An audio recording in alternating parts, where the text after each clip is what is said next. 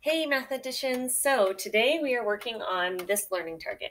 I can make equivalent fractions to add fractions together. Think about how when you are creating a, uh, let's say it's like a shelf or um, when you're cooking, you need to have the same sort of measurement in order to create the whole thing.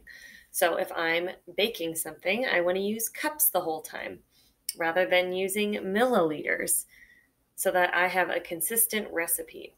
If I'm building something, I might choose to use one ruler, which uses inches, rather than using a meter stick. Same with fractions. You're going to get a problem that looks like this. And it asks, what is the area of this shape? The whole shape. There will be a box in the corner that says that one square that one square is equal to one because it's one whole. So I know that one of these is equal to one. How much or what is the area of this whole shape? Well, I can see that the blue is one. So I'm going to write down one.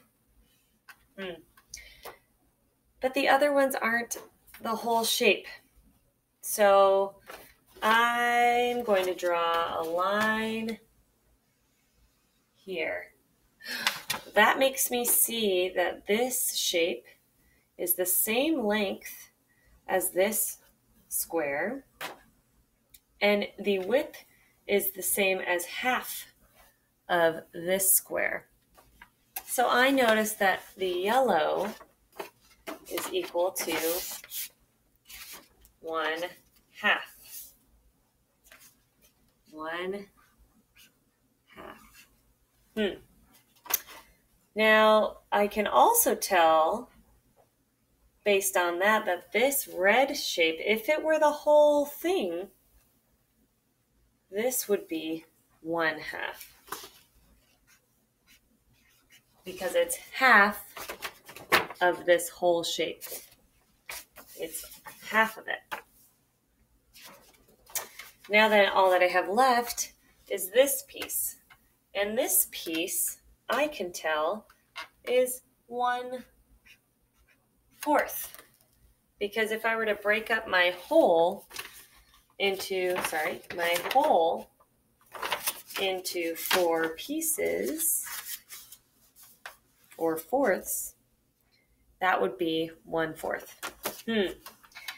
But I can't add one plus one half plus one half plus one fourth. That's too messy for me. So I need to change them all so that they match the smallest unit, the one with the largest denominator. Okay? So I know that a whole is equal to one, two, three, four fourths. So I can say four fourths. I know that a half of this whole is equal to two fourths. If I cut it in half, that that is equal to 2 fourths. I also know that I have that since this half is equal to 2 fourths, this half is also equal to 2 fourths. And that this one is one fourth. Now I did that so that I could add all my fourths together. So I have 4 fourths plus 2 fourths plus 2 fourths plus 1 fourth.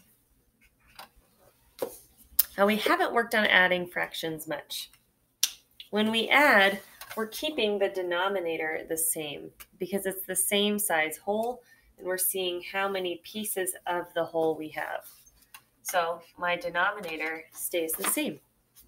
Now I add all of my numerator, all of my pieces of my whole.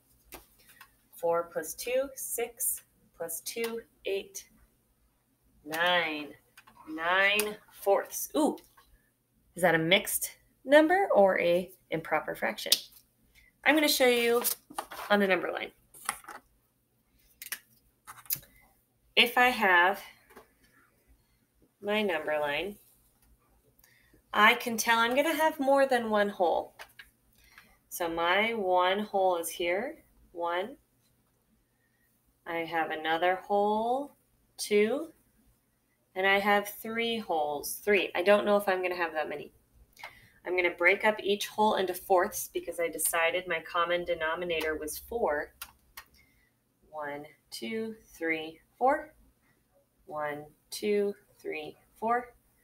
One, two, three, four. Okay. Now, with the blue, I had four fourths. One, two, three, four. Four fourths. Then I had two fourths with the yellow. One, two, plus two fourths. I had another two fourths with this part of the red. One, two, two fourths. And then finally, I had one more fourth on this red. One fourth. That means I have a total of two and one fourth. Which means my answer to this problem, what is the area of this shape, is two. I could almost see that here. Two and one fourth.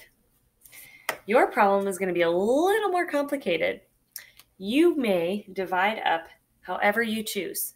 Make sure you use equivalent fractions to add them all together and show me your thinking. Can't wait to see.